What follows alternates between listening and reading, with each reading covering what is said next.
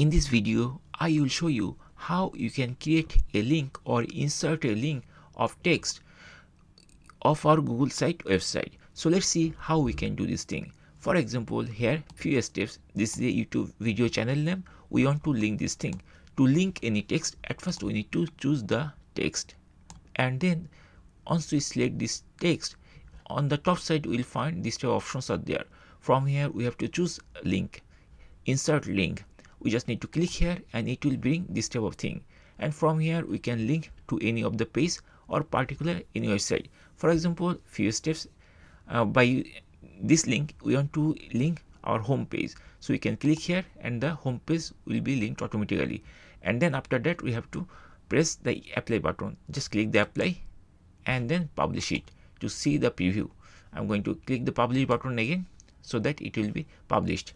Now if we go there drop down. Uh, next to the publish button we'll see view publish site. We can click here it will open like this way. And let's jump to about us page. And here we link it right? Few steps here. We just created a link. This is a link text and if we move our cursor we see a hand like icon is there. And if we click here it will go to the home page of this website. Just check it. I'm going to click here and it's coming to the home page. And this is the home page right so that's it guys. In this way we can link any text of our website text and by this way we can link not only this website we can also link some other external website also. We just need to modify the link. For example here we want to link this python to the python uh, url so the official python link is like this. Python. So if we click there and we can see the url is python.org we are going to copy this link. Control c i just copied it.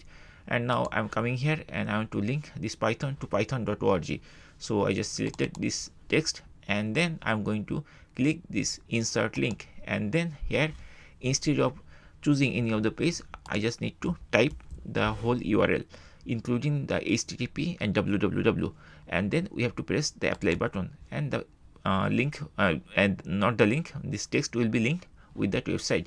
Now let's publish it and check how it is working. So i'm going to click publish again. And now let's click this drop down and choose view publish site. Once we click view publish site we'll see that uh, python this text has been linked. So this is a link test right now. And if we move our cursor we'll see a hand like icon. And if we click here it will directly go to welcome to python this website so hopefully by watching this video you are able to link any text of your google site website. Thank you guys for watching the video